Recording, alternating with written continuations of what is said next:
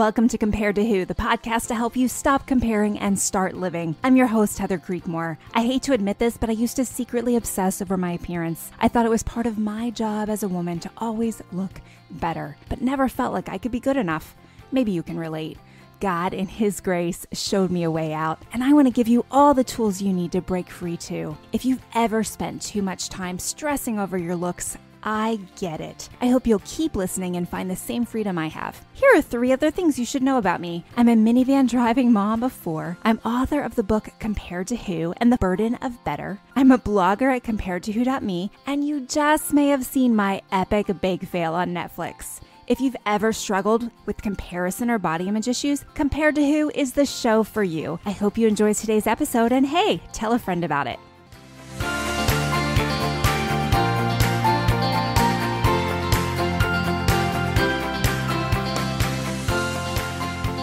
Hey there, welcome to the Compared to Who show. I'm Heather Creekmore, and I am so glad that you are watching today.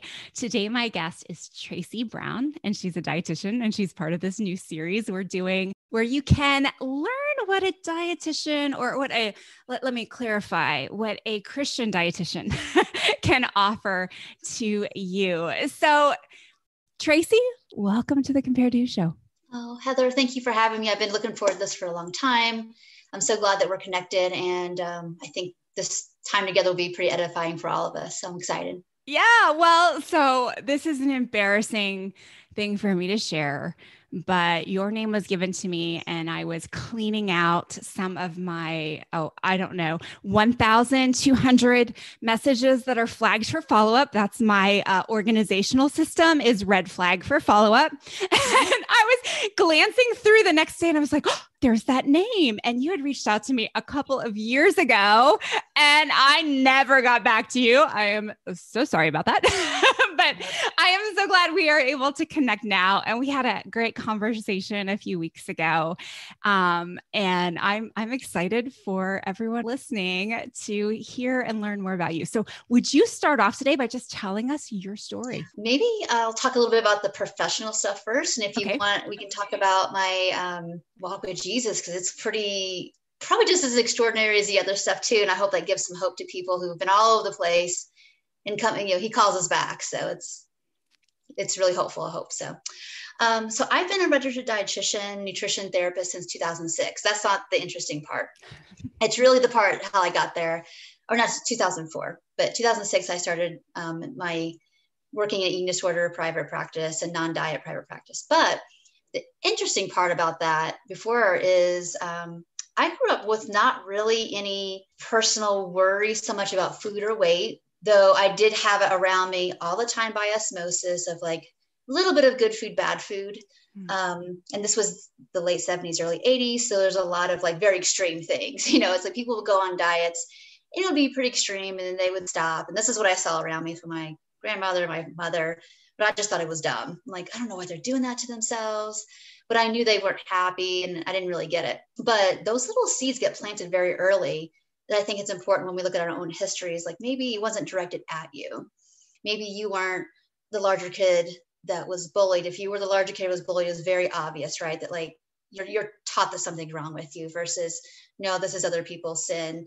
That's their problem, not yours. But um, sometimes we just grow up in these environments where there's just all this by osmosis you learn, especially if you're a highly sensitive person. Like, oh, it's not okay to like this is the thing you should be afraid of is fatness and this is a better way to be and this one maybe or not feels like it, it gets more respect or power or love or whatever so i started kind of taking from what i noticed that at least those were the belief systems around me so it was just tucked in the back of my little eight year old head like ooh like having smaller hips is better and having a flatter stomach is better because they always complain about the opposites and this is what children's brains developmentally do it's black and white thinking right? Again that's just tucked away. And then as you go through puberty and go through high school what happened for me is that like again it wasn't directly about i think i have a bad body but i need to always watch out for that.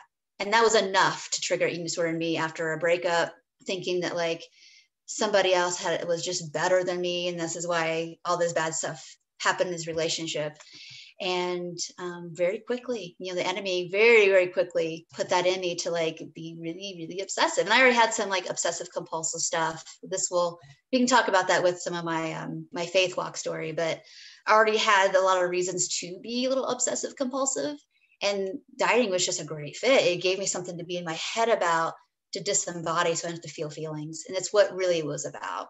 So anyway had a pretty rugged ragged awful eating disorder late high school, early college, and God put a little angel in my life, which was a non-diet dietitian, which didn't even have a name for that in 1996.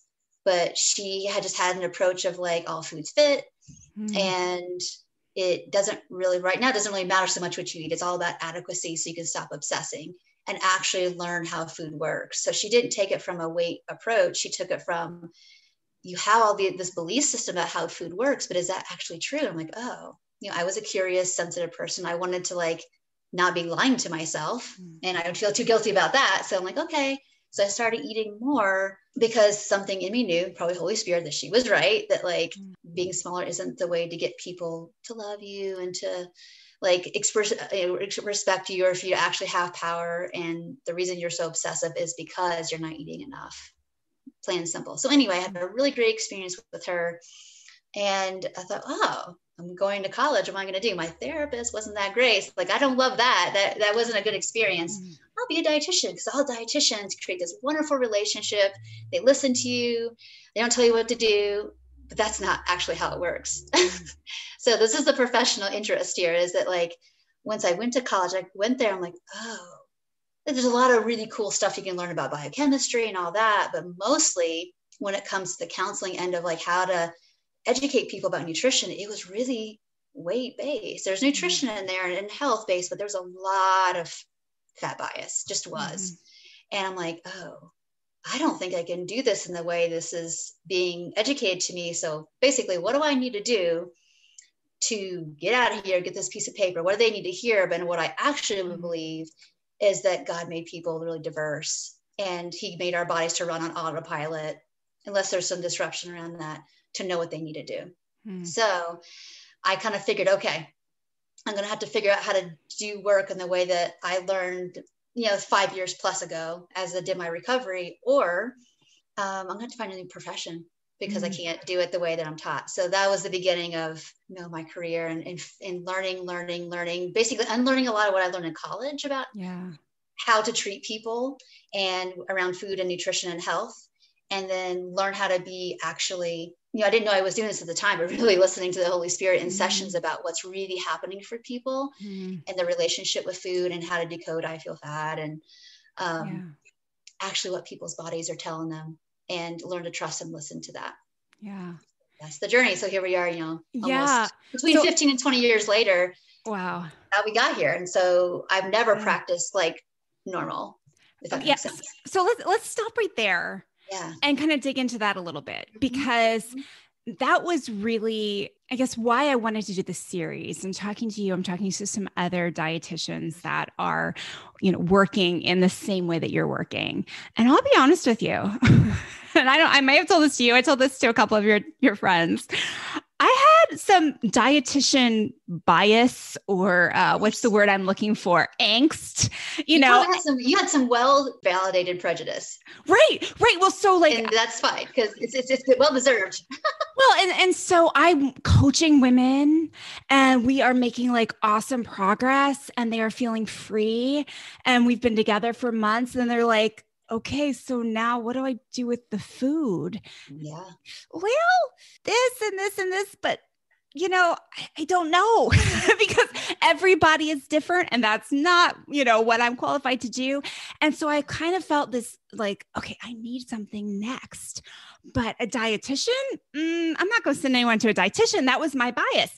And when I talked to women about it, they were like, we don't need a dietitian, Heather. We know about calories. Like we have a PhD in dieting, right?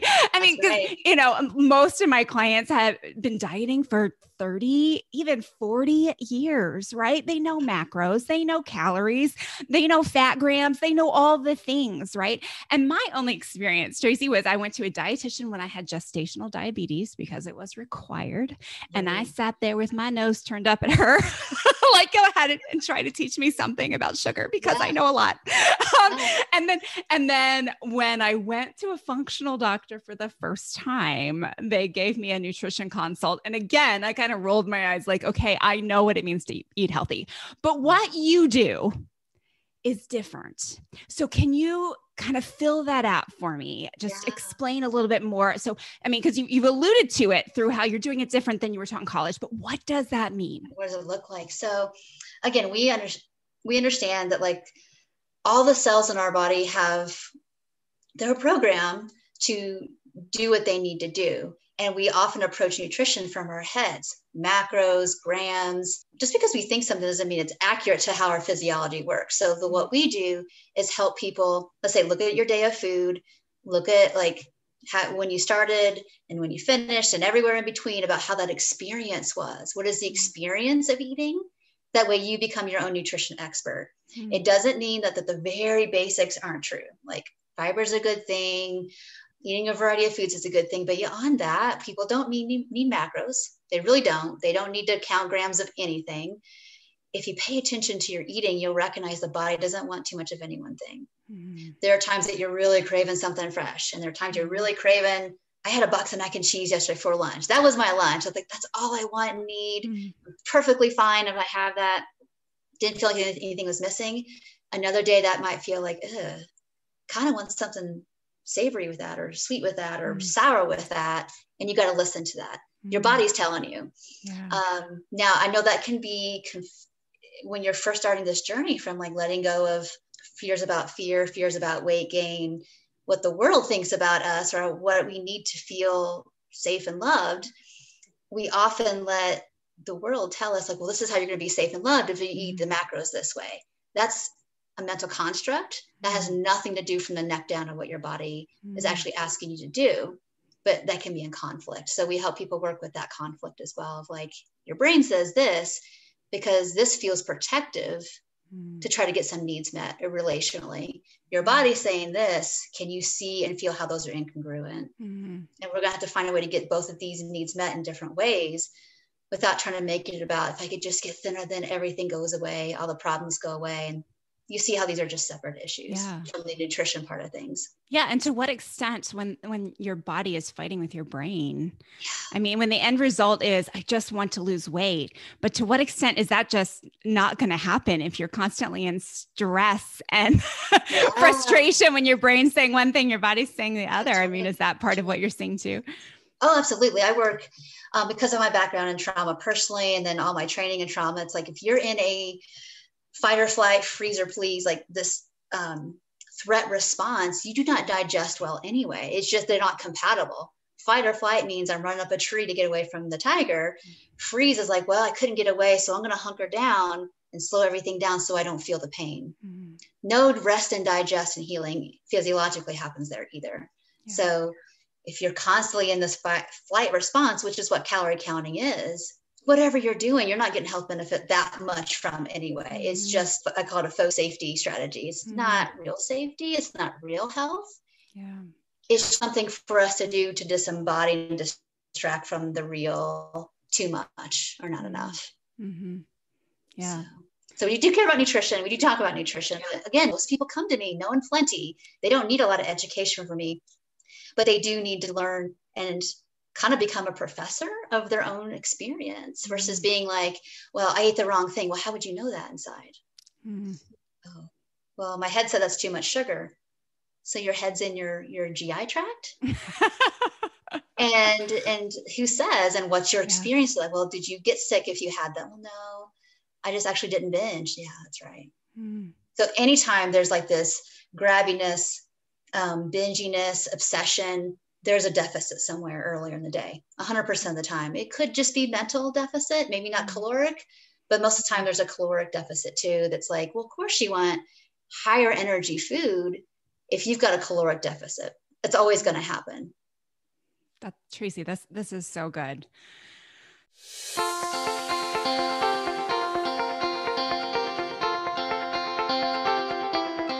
tired of comparing yourself to others? It's time to break free, my friend. Check out comparedtowho.me online and you'll find a ton of great resources, blog posts, videos, and so much more to help you stop comparing and start living. And make sure you sign up for my exclusive email list while you're there. I send my email friends things I don't send anyone else. You can also find out more about my brand new book, The Burden of Better How a Comparison Free Life Leads to Joy, Peace, and Rest. If you're tired of battling comparison, friend, I wrote this book just for you. Check it out right after this episode, of course.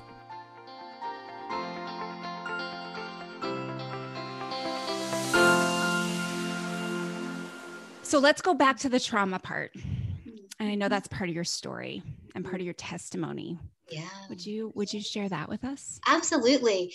And I it's it's one of those situations where it's like some of us have like very well remembered trauma. Mm-hmm. A lot of us don't. And there's something called developmental trauma, which is basically in these early formative years where your needs are supposed to 100% be attuned to and met to have secure attachment. A lot of times that doesn't happen for us, for people. And that's the my that's my story where it's like on the surface, everybody looks normal mm-hmm. everybody's out in the world like oh your parents are so nice and they're so great and there's a level that's totally true but in their own in their own like your parent my own parents stories like their parents had a lot of trauma their parents had a lot of trauma so mm-hmm. nobody really knows how to do emotion like i'll just say do emotion we don't yeah. do emotion yeah um and that leaves you with a sense of like i've got to handle this myself mm-hmm. to not be too much for people because they mm-hmm. cannot handle me my mm-hmm. emotion which can lead to a sense of like rejection so that mm-hmm. spirit of rejection which turns into self rejection can come in i'm too much my needs are too much so oftentimes what will happen this was what happened for me is that you become this little perfectionist have obsessive compulsive because you're always scared and you're always trying to you're always intuiting other people's needs, which we're not supposed to do that. You know, that's a little bit of a divination thing going on too. And um, and you can't help it when you have this developmental trauma. You become, if you're already highly sensitive, you become like highly sensitive to 10 mm. of like, how do I meet people's needs? How do I be good? Um, and do that. That just builds and builds and builds. And every developmental stage, it just usually gets worse unless there's repair. So mm I wouldn't look like a person like, oh, I have these big T's that I can tell you I can remember, but little T's. It's like a, it's you know death by a thousand cuts mm-hmm. of like I'm too much, and then you actually you'll have moments where you try to be vulnerable and you get smashed, you get told you're too much, and you just it reinforces it. I mean, mm-hmm. in our culture, again, we don't talk about feelings in a very constructive, productive way oh well just work harder or um, just get thinner or then mm-hmm. then you'll be good and everybody will love you and you look for external ways to deal so i will couple that with um, i actually do come from family on i wouldn't say totally on both sides but a lot of and maybe people when i say this will know what i'm talking about is a lot of secret society kind of stuff and i know that sounds mm-hmm. really conspiracy theory kind of mm-hmm. stuff but there's a lot of oaths and vows that do create a lot of dysfunctional stuff on the and, and, and control and manipulation mm-hmm. that also controls you a lot. So you have there's some mind control in there that keeps you from breaking away from some of these family patterns as well. So I didn't discover that honestly until my 30s. I'm in my 40s now, like, uh, yeah, I remember I have some memories of this weird stuff that mm-hmm. nobody's going to believe. But, you know, that's part of the trauma too, is recognizing, yeah, there's, this is invisible and it's invisible on purpose. Mm. That you're not supposed to remember these things. It causes dissociation and all that. So, um, how that relates to the work I do is that because I've been through these things and I've you know, worked through so much of it, you recognize, I started to recognize in my sessions with an eating disorder recovery. And of course, that I'll say all that stuff was a precursor to my eating disorder as well. So mm. I can do the food relationship stuff, the body image work, the exercise healing work. And then after a while, though, I'll start to see in sessions with my people, it's like the more here is, is invisible. So that's maybe pretty qualified to like, oh, I know what this is. Mm-hmm. And it kind of led me down this trauma training road of learning about the nervous system, how the body holds these memories that we can't always articulate, but it's real because you're mm-hmm. feeling it.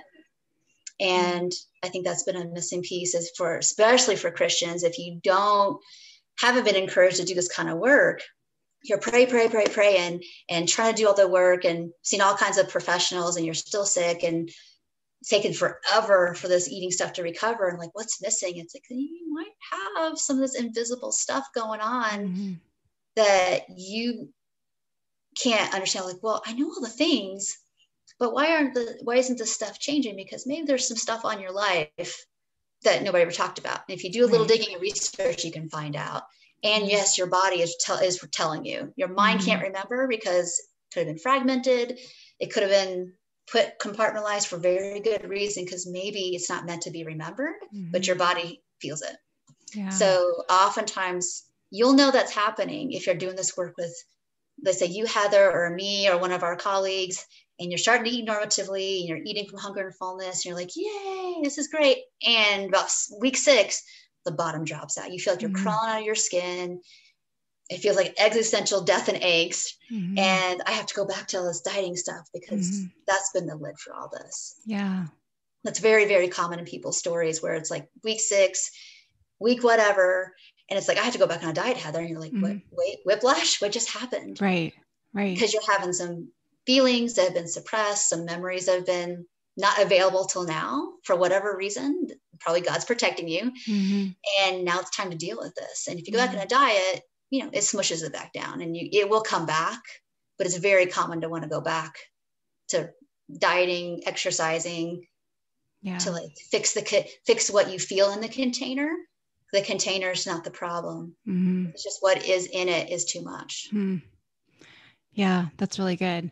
Let's flesh out oaths and vows because I think I know what you mean there, but I'm just mm-hmm. not sure if that's clear. And what I think you mean there are the things like what happens in this family stays in this family, or those sorts well, of things. Yeah, that- so it could be it could be I'll call it family cult. Like this mm-hmm. is the way mm-hmm. we do it, and that's mm-hmm. it. And there's a hierarchy of mm-hmm. behaviors and thoughts and patterns that are acceptable. And so when you start to break out of it, you are going to feel like like you're doing something really bad and wrong. You're disobeying. You're disobeying, you're disobeying. your family rules, right? Like you're going that. against those authorities. Against that. Right. And there's there's um, consequences. Mm-hmm. And they're real consequences. Like mm-hmm. you're not going to be the favorite anymore. You're not going to mm-hmm. get the special treatment. You're not going to get whatever. So there's family stuff, but there's actual also real stuff that's out there. Yeah. That that have that you can go research these things that like you make vows that impact your family Mm-hmm. You break away from that, then you're going to feel the impact of it. So, yeah. Yeah. Okay. So, your testimony. Well, okay. So, I've always loved God. And I think that God just put that in me because I didn't, I wasn't exposed to it that much as a kid. So, my dad's, because of his, I'll just say it, Luciferian um, vows and oaths, mm-hmm. he's got his thing going on that's, you know, weird and secret. Mm-hmm. And then my mom was raised Catholic and put up, you know, we did Catholic Catholic Church. And I didn't have any problem with that. I didn't have any bad experiences with it. It gave me a little bit of, um, I think, Christian light education, mm-hmm. if that makes mm-hmm. sense. But I've never didn't like I knew God the Father, God the Son, God the Holy Spirit. I got that as a kid, and I was really hungry for it because I think God made me that way, and just a spiritual, sensitive kid. He just was. Um, but you know, I think about fifth grade. I'm like, how come we don't read the Bible? There's a thing as a Bible, right? And I never got one, and we never talked about it in my little mm-hmm. Sunday school. And I'm like, I think I'm done with this because I think typical for like a true seeker is like, mm-hmm. I don't get this. Nobody can explain this to me, so I'm out. Mm-hmm. and that was kind of the end. I just would say my our, our, Father the rest of my life until I was my later on, but that was about it of my relationship with God. I believed in mm-hmm. Him, actually loved Him, but I didn't know Him mm-hmm. at all. Mm-hmm. So I had a very powerful experience in recovery because I got pretty sick with my eating disorder. And the thing that saved my life was um, laying in that hospital bed, you know, being threatened with tube feeds and all those kind of things in high school, all the very cliche things that you hear about.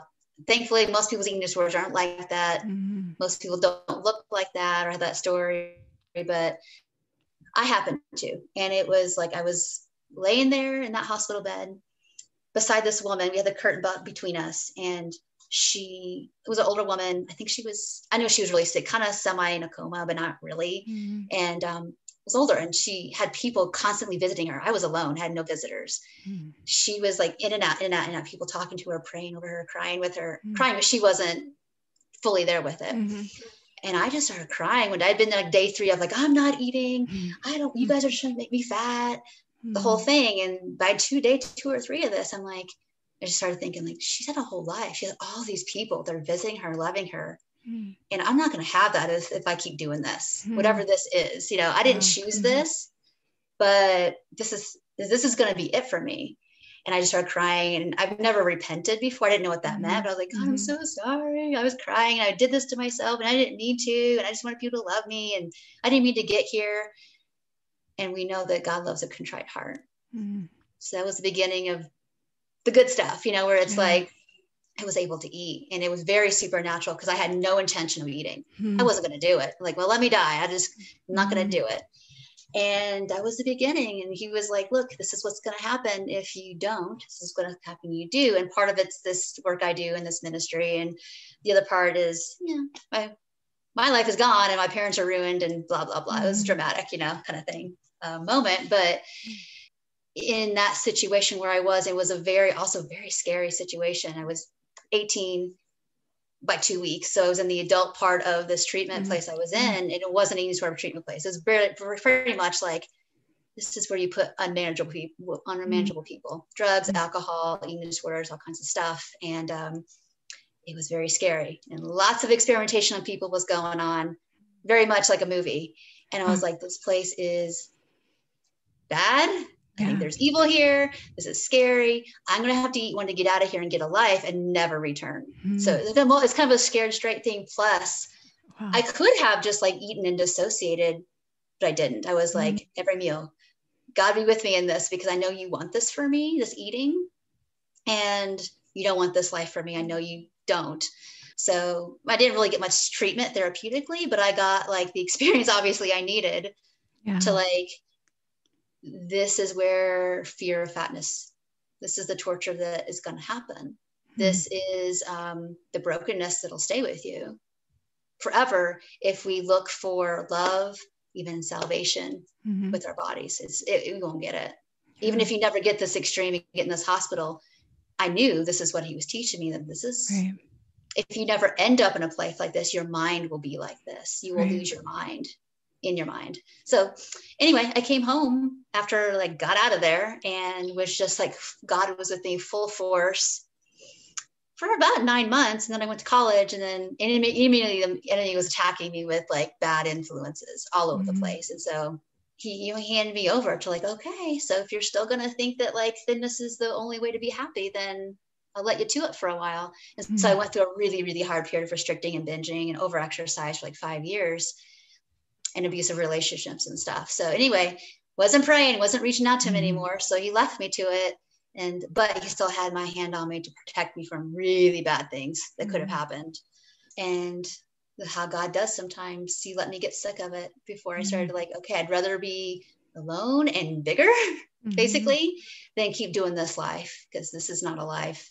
You know, there was some grace in it to put some good people in my life, like friends. I eventually met my husband and, you know, a lot of this was, it's really interesting because it's like, again, I wasn't, my testimonies, I wasn't with him, but he was with me mm. that mm. didn't let me go off the cliff. Yeah. Because I think, you know, he knew when he called me, yeah. even, and I wasn't, you know, listening, but he didn't, he let me, like, he let me dangle yeah. with a lot of things. So honestly, I ended up going back to therapy, like in my later 20s, because, you know, just like life is really good. I was married. I started my practice. I wasn't eating disordered at all at this point when I started my work, but it's like I always had this nagging sense of like no matter like I, I would work work work really really hard to be good mm-hmm. you know the mm-hmm. best at my job and a good wife and a good everything yeah. and yet i still hated myself like flat out mm-hmm. like didn't have any like any joy any love even though on the outside everything looks good right mm-hmm. um so like over therapy for this is this is something's wrong here right there's incongruence and so again, because of those vows and this backwardsness of like basic, some of these vows were about the um, you be your own God and mm. you know, it's serious stuff. So mm. I had this influence in me and on me to like, I'll go fix myself. Mm.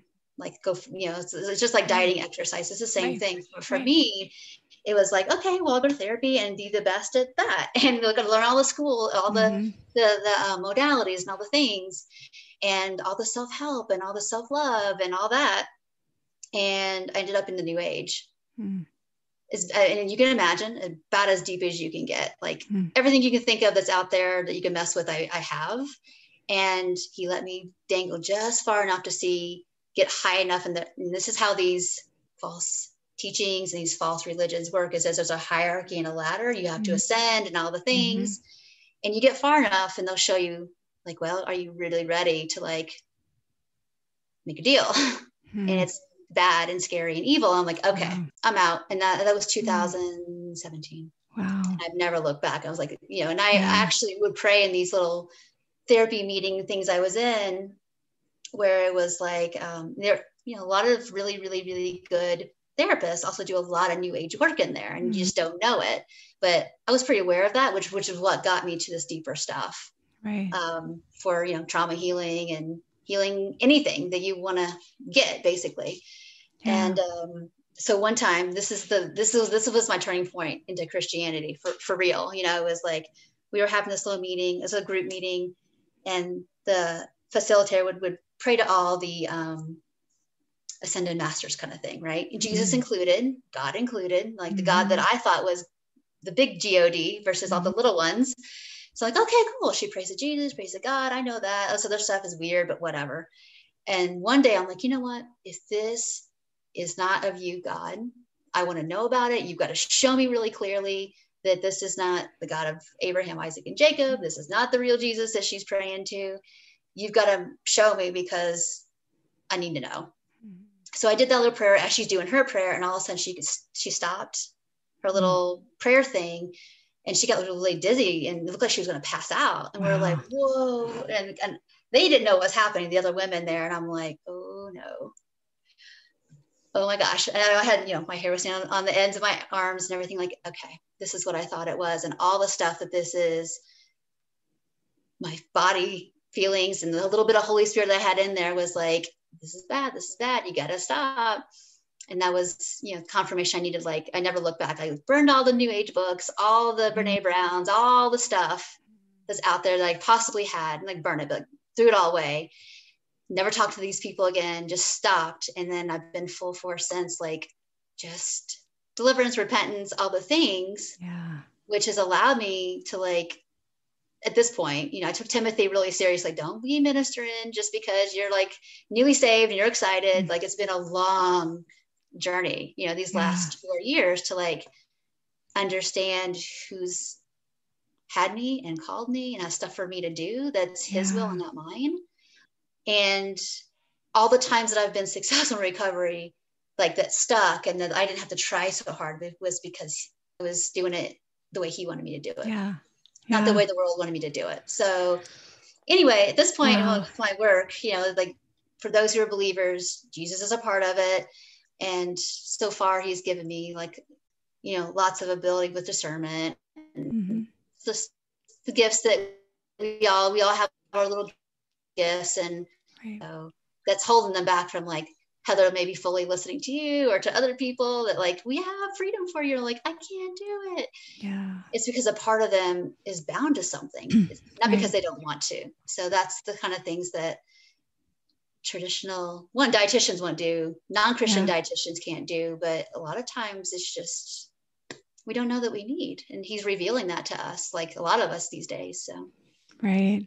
So that's my story. Wow. That's amazing, Tracy. I got some chills there. And there's a couple things, and we don't have a ton of time left. I first thought is wow on the the journey to new age, right? Because it is hard to scroll Instagram without seeing a Christian influencer tell you you need self-love and a Christian influencer tell you you need more self awareness and self, self, self, mm-hmm. self, self.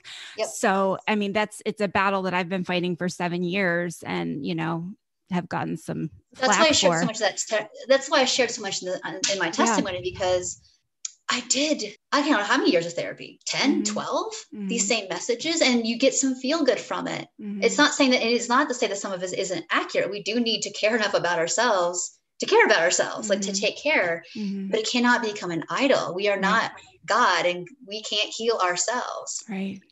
We have our helpers, like Heather, you're a helper. I'm a helper. We're here to strengthen each other. And you know, I'm I'm a truth and love teller for sure of like what's incongruent to not only basic stuff about taking care of yourself, but to God's word. But mm. I ain't, I'm not powerful. I've tried to be that. And I was taught to be that way since the moment I was born. Mm-hmm. And I had to repent for all that because right. there's a, a dark road with that. You don't really get where you think you're going to go. Right. Right. Okay. As we wrap up, I have to ask you, you mentioned this twice the very beginning, and it's stuck with me that this is something that needs to be fleshed out. Mm-hmm. HSP, highly sensitive person. Mm-hmm. So tell us about that and the connection you've seen between that and eating disorders yeah, or all this so, other stuff. Yeah, I do believe if you look at the God made so many highly sensitive people David was sensitive his home ways and his laments and his music. Jeremiah, I mean, I so relate to him. He's just mm-hmm. always crying and like, oh, these people don't listen. And I'm telling them things and they don't get it. Highly sensitive people, it can come in all kinds of forms. I do think God makes people mm-hmm. more highly sensitive to just feeling things really deeply mm-hmm. and um, um, knowing the incongruencies, honestly, in what people say to you versus mm-hmm. like you can feel like I think some people, all people are that way in some way. We all have our like our little BS detector sometimes, right? Mm-hmm, mm-hmm. But highly sensitive people are all like every situation they see it like really bigly and broadly, and what the what the meaning of it is. They, they want to know like what the function, the meaning of it is, versus mm-hmm. just taking things at face value. They just don't take things at face value. Mm-hmm. It's like, what is this? Right. You're kind of like just always like that. The problem I think is the enemy preys on that because a lot of people who are highly sensitive have a lot of discernment. They have mm.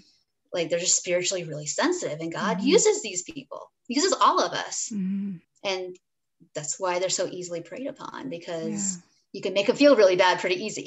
Mm-hmm. you can shame people really easy. So, the thing with highly sensitive people as well that you know, it's easier to shame them and criticize you know get to the place of feeling relationally traumatized so they're more mm-hmm. likely to attach to diet culture more mm-hmm. likely attach to the externals to feel less pain yeah just more prone to oh well how do i fit in this world they're always questioning like how do i belong right right right um, if you talk to and i think that the, the reason why so many people come to us heather is probably there's some there's been some level of like being shamed and othered and rejected mm-hmm. at a time when we are really vulnerable, mm-hmm. with highly sensitive or not. So, a highly sensitive person just kind of senses stuff, whether their physical senses more mm-hmm. or more their emotional sensitivity or whatever. So, yeah. most of I would say 95 to 99% of my clients are highly sensitive people. Yeah.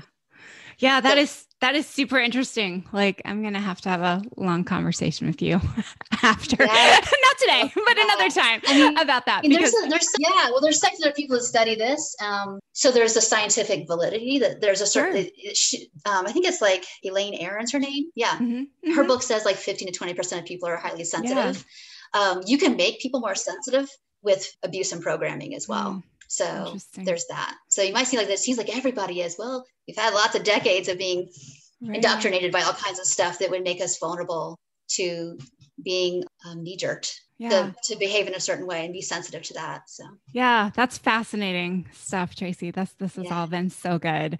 Well, I would just love it if you would just take, I don't know, a minute or so is there anything you'd want to leave the listeners with? Some yeah. encouragement or some thought mm-hmm. or, or, or, whatever your message would be? Well, all I want to say is honestly, God is good. God has got his hands on people who obviously believers, but he wants us to heal. He wants us to be well. Mm-hmm. Doesn't want us to be obsessed about these things. Um, he gave us food to enjoy, to be nourished, to not be created an idol with. The same thing with our bodies. He has something for all of us to be doing everybody's valuable. Everybody has like a they're part of the body. And he wants us to to be strong and be equipped. And there's a cost to that which is like we do have to turn away from being belonging in the world the way the world says we should. Yeah. That's that's the only thing that you know feels really hard. And what is the barrier to that? We have soul wounds. Mm-hmm. if we can work through these soul wounds and get and again we can't do it all by ourselves. I've had so much healing just from the fact of like praying for it and having deliverance and like mm-hmm. being with other people that kind of get this stuff that it's like you can see him subtly helping you care less about this yeah. helping you be more hungry for him he'll do that if you ask yeah. sometimes the barrier that i've had clients that they don't pray to be well mm-hmm. is because they've got this wounded part that's like if i lose the the thinness then I won't be loved. That's right. their younger wounded part. And we have to like kind of be more of a witness to it versus still be it. We have to let him be our perfect heavenly father when our parents couldn't and our teachers mm-hmm. couldn't and the culture certainly could care less about mental emotional well-being let alone your salvation right. we have to understand that yeah that's good that's good yeah. well tracy thank you so much for You're being welcome. on the show today where can people connect with you yeah so i have a couple places so tracybrownrd.com just my website um, i do a lot of um, I know it looks like, you know, Facebook Live educational recovery kind of videos, but really I'm doing a lot of ministering in that. So everybody can get a little flavor of that, even if they're not a believer. So all the platforms. So Tracy Brown RD, you know, Instagram and Facebook and YouTube. And I also have a peaceful eating community where people, if they need community around this kind of thing, um, they're not alone in, in it too. And it, I make it as access, accessible as possible. So Awesome. And you have some free gifts, I think, on your website. Yeah. So, so if you go to my website and just go to free gifts, that's all it is. There's like four kind of tools to kind of work through body image tools, kind of hunger and fullness work. Because it's really hard when you know too much. Mm-hmm. Your brain knows too much about food, but you don't have a physical experience. You really got to dig in there to like look at your experiences with food and see how and find, figure out how it's a match for like, oh, well, I ate this and now I'm hungry in two hours. I guess I wasn't full. It's kind mm-hmm. of a mm-hmm. guide, little guidepost to the, that kind of work. If awesome. You know, yeah. Awesome. Well, Tracy, thanks again. It's great to have you. And thank, thank you for thank you for listening today. I hope something in today's episode has helped you stop comparing and start living. Bye bye.